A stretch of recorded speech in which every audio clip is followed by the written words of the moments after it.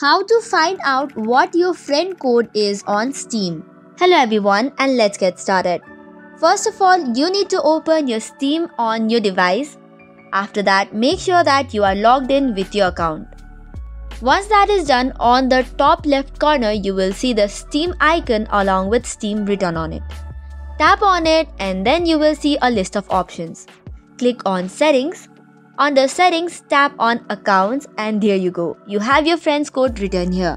So that's all for today's video. For more such contents, do not forget to hit the like and subscribe button. Thank you and keep watching.